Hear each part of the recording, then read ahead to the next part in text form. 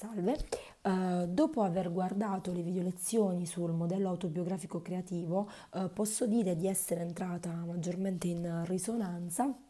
con il fatto che anche attraverso il gruppo, il mettersi uh, nei panni degli altri e se, provare a sentire ciò che provano gli altri, ciò che viene messo al primo posto è l'individualità di ciascuno. Mi piace inoltre che al centro del, dell'intero modello, um, uh, al centro dell'intero modello ci siano le relazioni che uh, a mio avviso diventano veicolo insieme al lavoro creativo um, per sperimentare le proprie, le proprie, emozioni con cui spesso si fa fatica a dialogare e, perciò spesso appunto facciamo fatica ad, ad esprimere. Um, uno dei lavori che mi ha maggiormente colpito tra quelli che sono stati presentati è stata la creazione del proprio corpo con il materiale modellabile, uh, in quanto secondo me è molto interessante um, vedere come noi stessi ci percepiamo diversamente uh, da come ci percepiscono gli altri e questo a mio avviso può essere essere un, un modo appunto per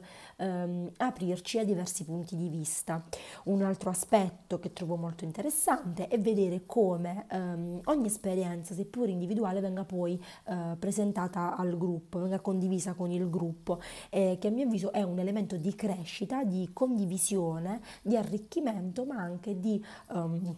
ma permette anche appunto di imparare il rispetto per la diversità e eh, di, di, e sottolinea appunto l'unicità eh, di ciascun individuo.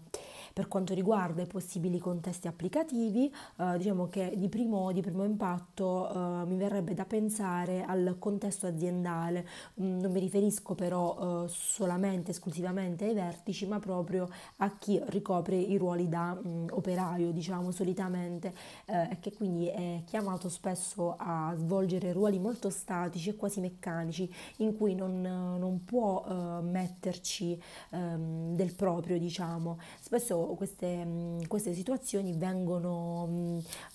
diciamo, vengono un attimo, passano un attimo in secondo piano, quindi sarebbe interessante secondo me vedere come questo modello possa far emergere delle emozioni latenti eh, in queste persone e come eh, in relazione al gruppo, eh, come po- appunto ci si possa sentire in relazione al gruppo e quali problematiche possano ehm, emergere. Un altro contesto applicativo potrebbero essere sicuramente i gruppi di adolescenti, in quanto come sappiamo sappiamo durante l'adolescenza ehm, i ragazzi appunto sono molto confusi per quanto riguarda i loro sentimenti, nel manifestare i loro sentimenti e ehm, sarebbe perciò utile fare un lavoro eh, che gli permetta di ehm, dialogare con se stessi e cercare di tirar fuori ciò eh, che nascondono in maniera mh, mm, più, ehm,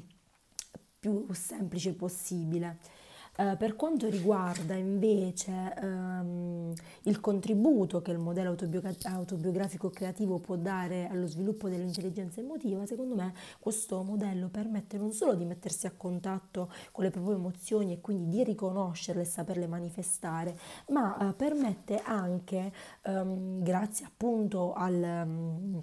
al gruppo di riconoscere, rispettare e empatizzare le emozioni e le situazioni um, altrui e, um, e quindi um, anche grazie a questo di imparare a uh, gestire e a manifestare le proprie emozioni. Grazie.